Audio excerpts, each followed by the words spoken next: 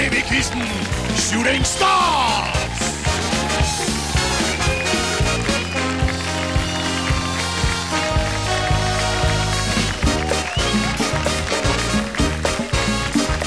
Og i aften er gæsterne på hold af Rikke Hørløve, Dan Marstrand og deres kaptajn, Michael Wulf. Og på hold B, Marianne Hjelved, Hans Bildgaard deres kaptajn, Maria Montel.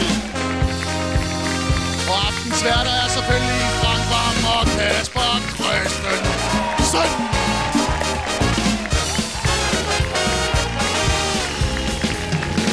Velkommen til vores show. Velkommen til Stjerneklå.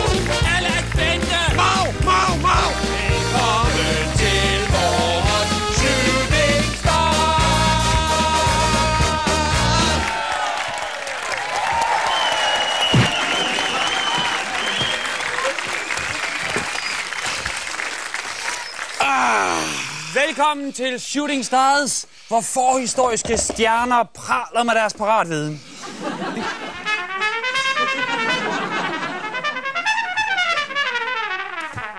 Hvad laver du? Jeg spiller skohorn.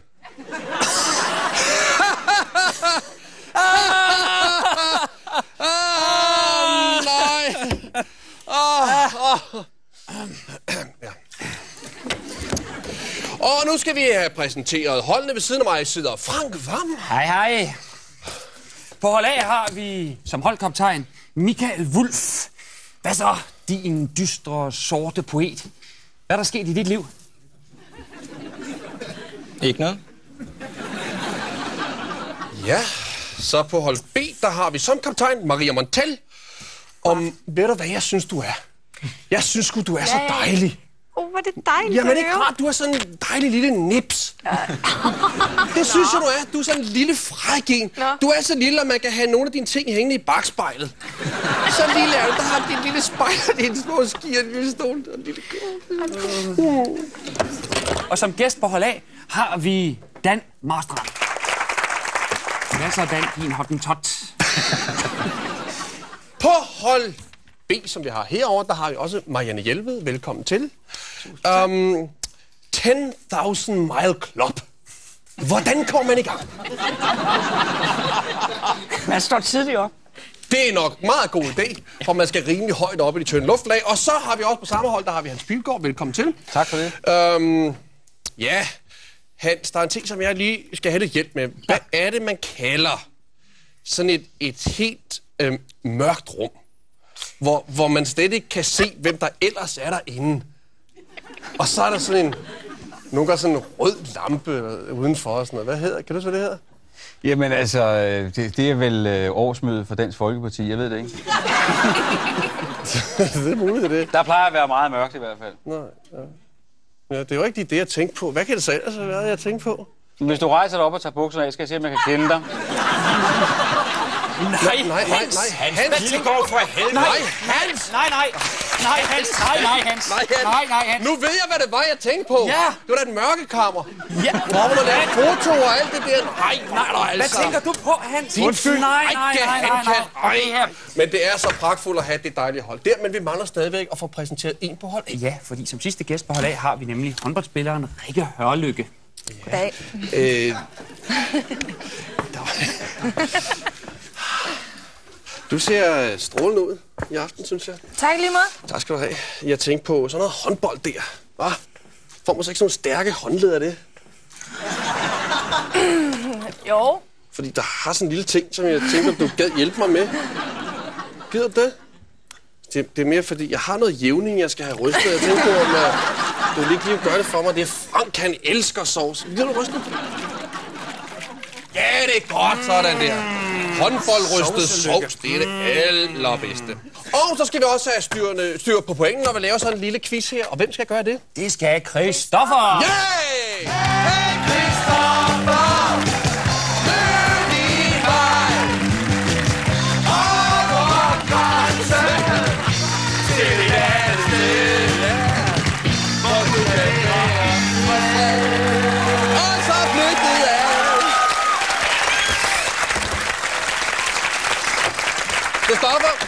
du skal styre pointene, men hvad laver du til daglig? Jeg er blevet en meget vemmelig industridykker.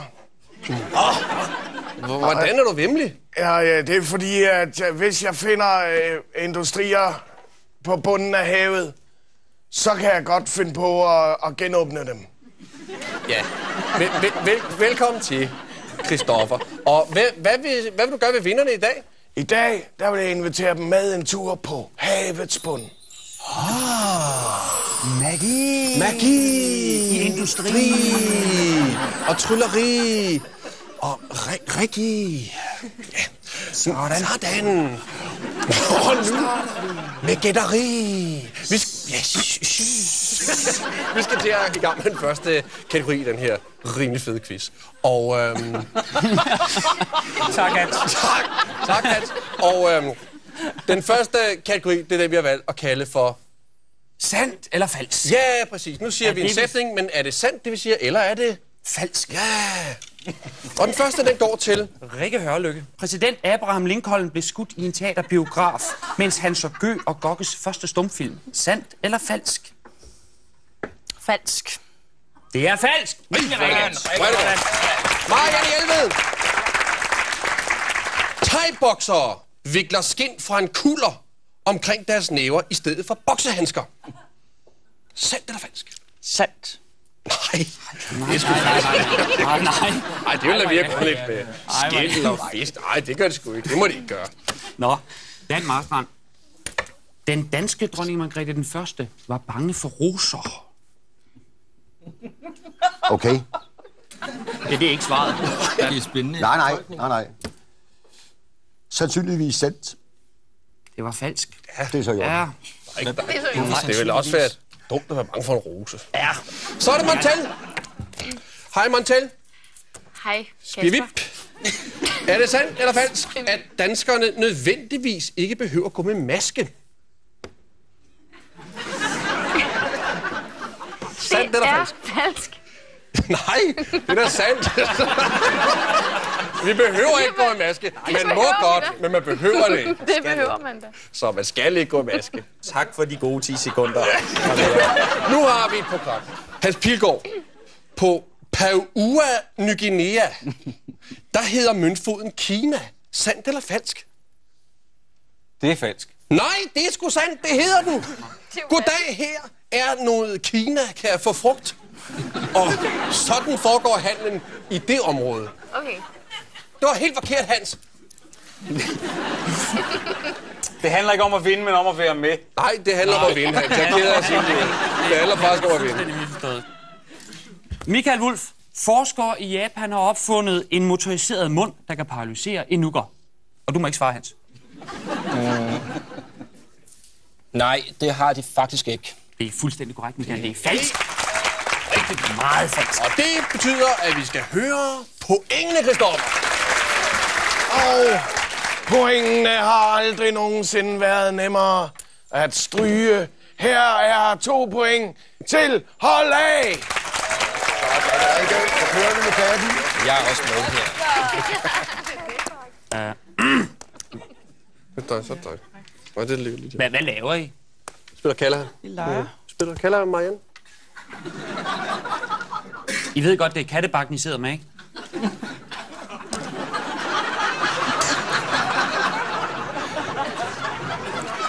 Var der mange hvide kugler? Åh, oh, det ligger det der.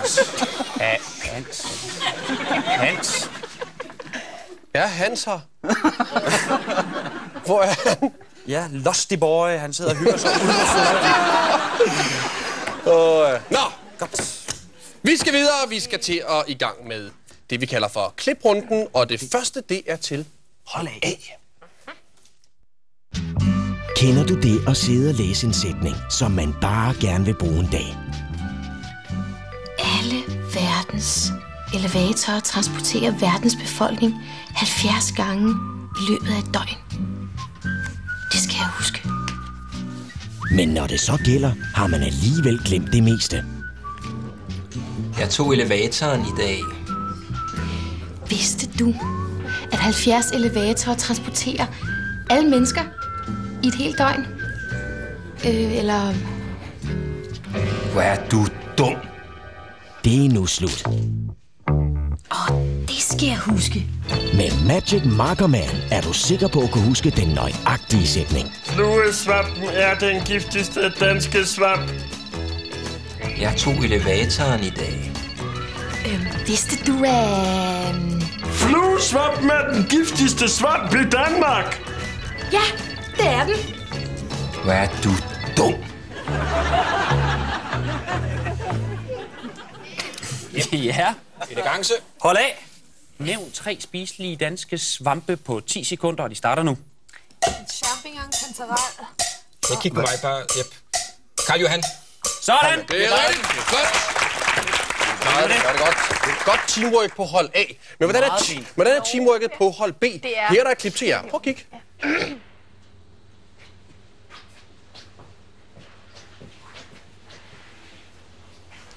Hej. Da jeg for nogle år siden fik brok, måtte jeg opgive alle planer. Og mine venner måtte opgive mig. Men så så jeg en bus, hvor der stod hotline, og jeg ringede. Og nu har jeg masser af planer.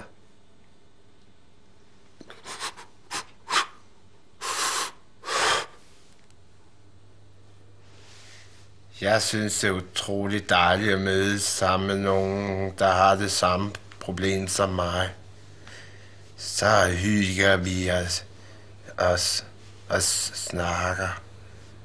Eller går tur i en park.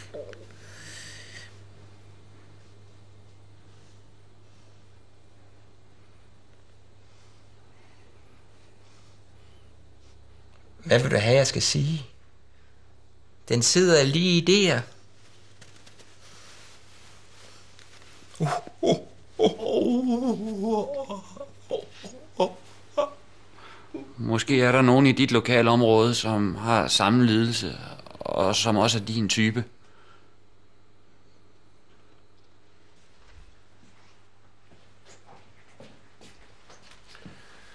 Tjek det.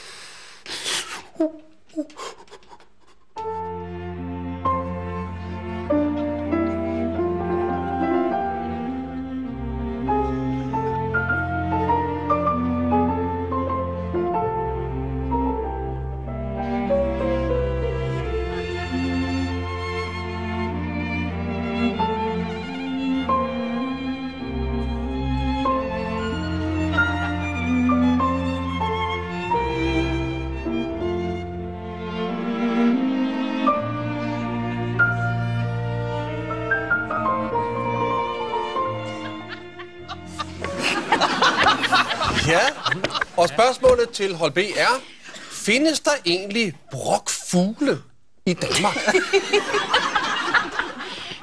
Well. altså, der er jo nogen, der skraber lidt. Der er mange brokhuder. Ja. Men brokfugle? Sidder de på en fugl? Jeg tror det ikke. Jeg Skal tror vi ikke sige nej? Jo. Nej, vi de tror ikke, der findes det. Det gør der faktisk. Den fjerklædte præstekrav er en lille vadefugl, der hører til arten brokfugle. Og så ved I det. Okay. Desværre, sådan er det. Og det betyder, at vi skal have nogle point. Hvad så, Kristoffer? Her kommer pointene til. Hold af! Sådan der. Hold af fører med to point. Så skal vi have det sjovt. Ja, nu skal vi have det skægt. lege. Det er. Det er så skægt.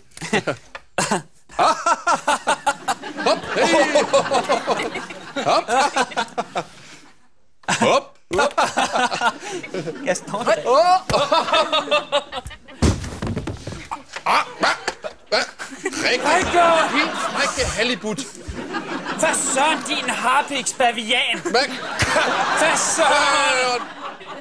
Aus. Goddags.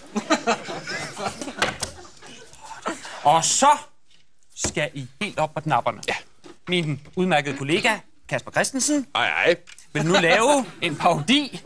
Og øh, I skal gætte, hvem det er. What I'm nauseous, I can't get a cup of coffee anymore. Ja, Det er Woody Allen. det nemlig Woody Allen. Hvor er det stærkt. Øj, øj, øj. Og nu vil min kære kollega Frank Vam Hej, hej. lave en parodi. Men hvem er det? Vi sælger ikke flere af de dyre modeller.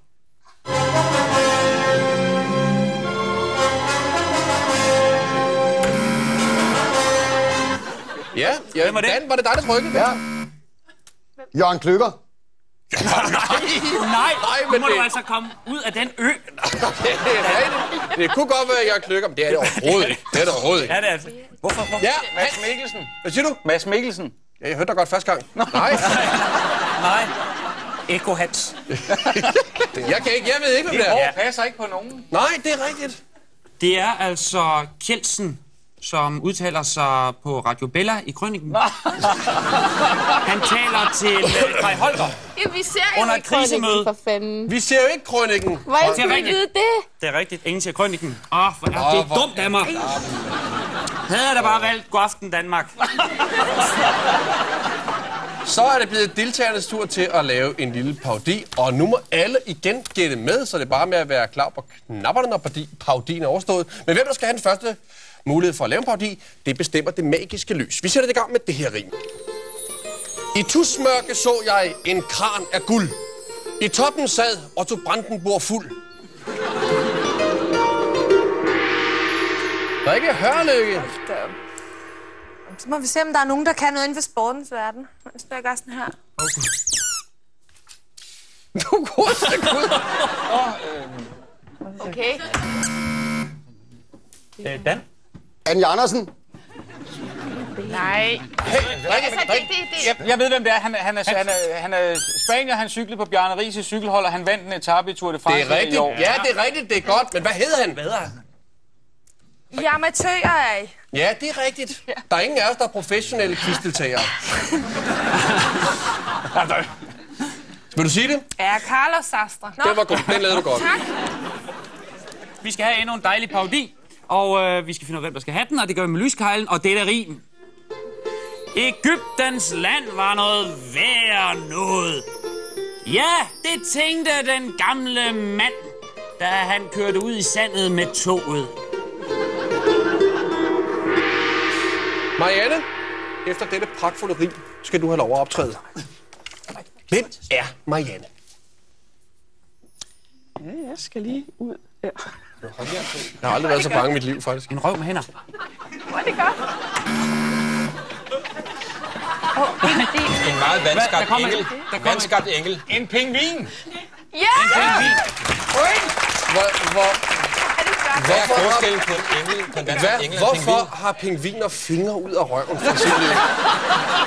Det har jeg da aldrig aldrig set. set en pingvin? Nej. Nå. Jo, jeg, har- om jeg har set en pingvin, jo, det har jeg da ikke.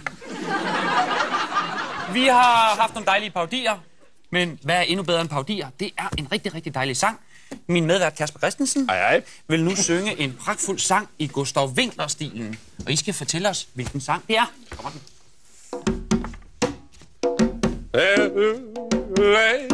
Det er på mig. Nu er min jul. Ja. Diggeloo! Diggelæn. Ja, det var Diggeloo, Diggelag! Med Harry Race. Ej, og jeg pegede endda på dig og sagde Jylland skoen. Lidt. Øh, vi øh, er øh, færdige med den pragtfulde paudirunde, og vi skal nu have pointene. Her kommer Christoffer. Hold B besætter andenpladsen med fire point. Men hold A har bragt sig helt op på 6 point.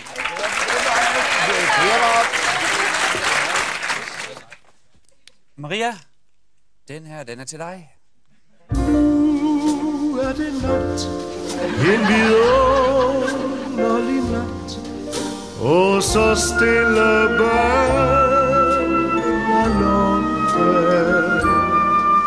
Stjernerne skær bringer himlen så nær, jeg vil drømme bønner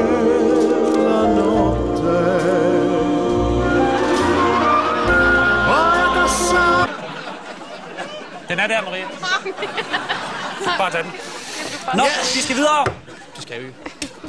Vi sidder og pjatter her nu, ikke? Egentlig ikke. Vi sidder og fjoller, synes jeg, pjatter, og det, øh, det er så også okay, at vi er sådan lidt tossede og sådan noget, men der findes jo, det skal vi lige huske til, der findes øh, folk med problemer rundt om i verden. Ja. Og der er en, der bærer rundt på en masse store problemer, det er Vita, nemlig Sten med problem! Don't cry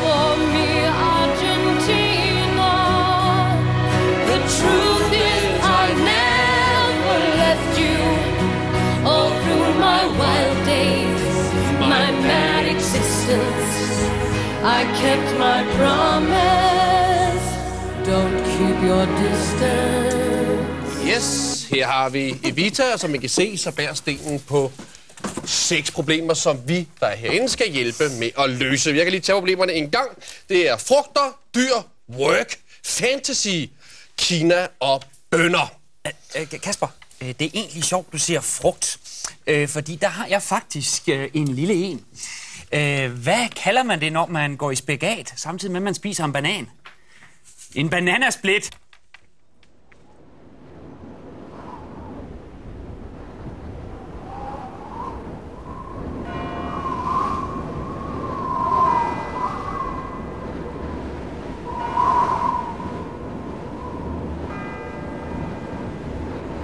fanden gør du det? Godt.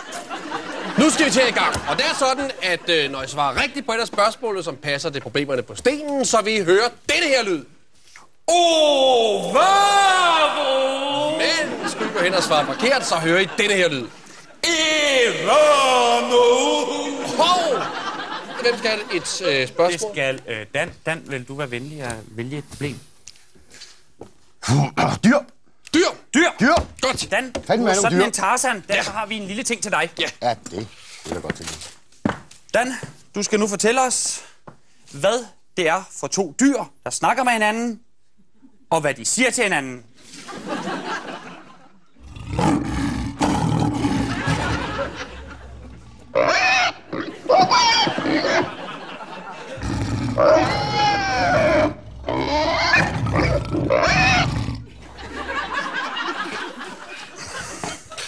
Ja. Hvad var det for nogle dyr, Dan, og hvad sagde de til hinanden? Jamen, øh, det var jo et øh, typisk eksempel på en øh, alfahan, øh, ja. som står og markerer sig. Han vil være den stærkeste, han vil tjene mest, og den anden kæmper en bitter kamp for at komme op i det der prisleje. Men det lykkedes ikke. Nej, det er det slet ikke. Nej, nej. Nej, det var er altså en løve. Ja, den havde du næsten. Ja, og den anden, en gris. Det var en gris, og det de sagde til hinanden, det var, løven sagde til grisen, hvor har du købt den sweater? Og grisen svarede, grisen svarede helt kort, Føtex.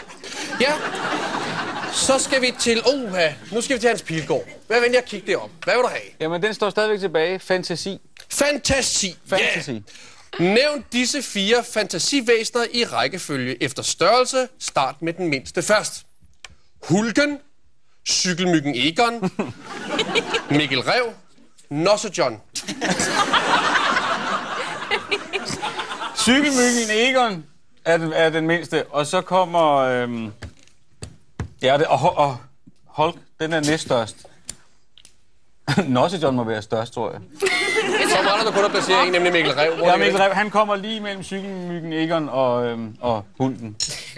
Det er fuldstændig korrekt! Hvor er det flot! Nej! Hvor er jeg sgu imponeret. Ej, hvor er det Super, godt. du var. Det John er jo kolossal. Ej, den er stor. Men hvad er pointene, Christoffer?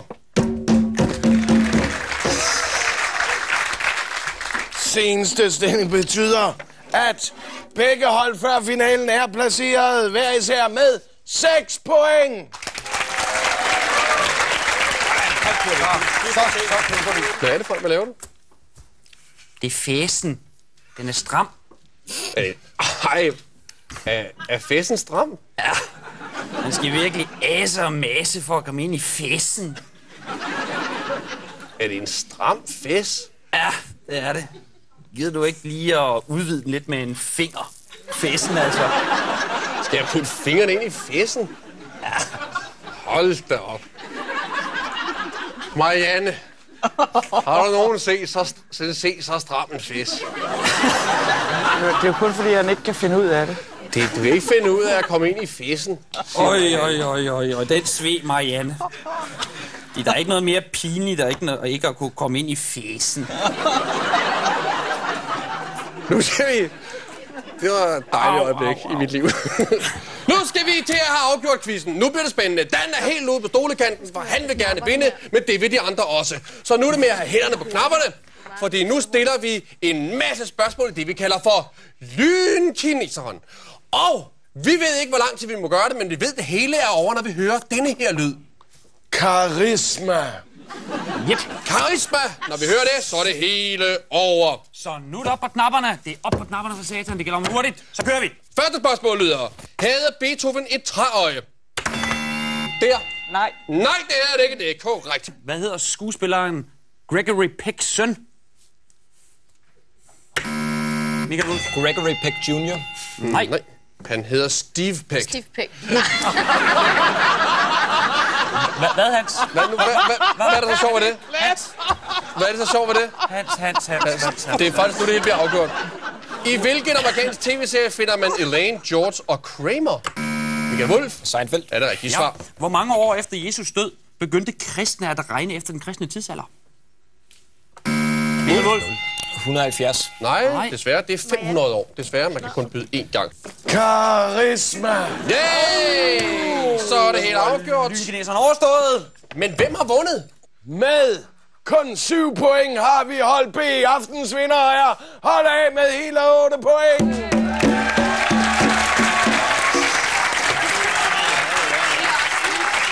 Ved I hvad? I skal ikke gå tomhændet herfra, fordi I skal have en lille gave, og den kommer Frank over med. Det er øh, handsker og huer med kammerjunker på. Det er noget, man bruger, hvis man tak spiser virkelig, virkelig kold skål. Så er det meget rart ikke at fryse. Er det så mørkekammer, Junker? Det ved jeg ikke, men det ser ud som om, der er hår på en af dine junker derovre, Hans. Så siger vi tillykke til at holde af herovre. Michael Wulf, I har vundet. Det er dig, der er holdkaptajn. I skal tage en udfordring. Hvem af jer skal tage den? Jamen ja, der er to, for det er simpelthen så spændende begge de muligheder. Helt forskellige.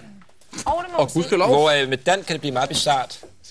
Rikke kan det, Det, blive det kan elegant det ikke og smukt. mig, jeg så. Og jeg har virkelig lyst på en eller anden måde til noget bizart. Dan, for helvede, så er det nu. Godt, det bliver Dan Marstrand, der skal tage en udfordring. Godt. Kom du herop til vores baltatræ, vær venlig at følge med på gulvet. Hvor duldellen. Nu skal du se her. Det er vores lille øh, te-lounge, og her sidder kongen af Habsburg.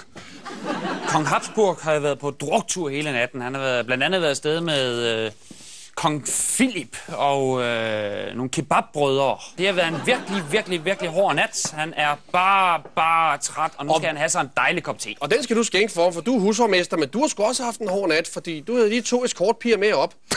Og øh, de slap dig ikke løs igen, så nu sidder du fast der. Så nu skal du servere teen så elegant som muligt for kongen.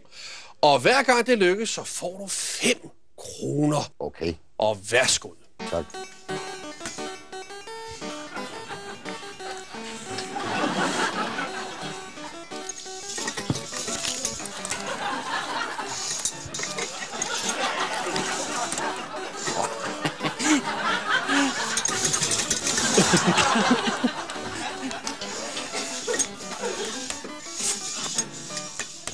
Du går bare til den, Dan.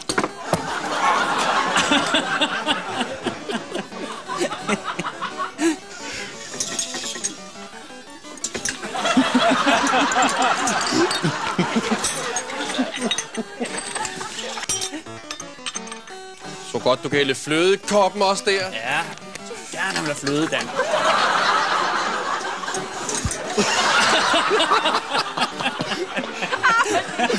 Sjovt. Og så er tiden gået, var det godt. Og 10 kroner! 10 kroner var det fantastisk. Og det var, hvad vi havde valgt at bringe i start for jer.